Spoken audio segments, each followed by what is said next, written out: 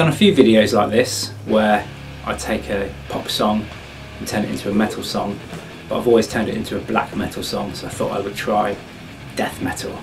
So I uh, hope you enjoy it. I'm using this guitar, which is a Schecter Omen. I'm tuned to either B standard or drop A. The drums I'm using are Cult Drums 2. I'll put a link in the description. If you like these tracks, you can go and download them. I'll link in the description. Hope you enjoy it. See you later.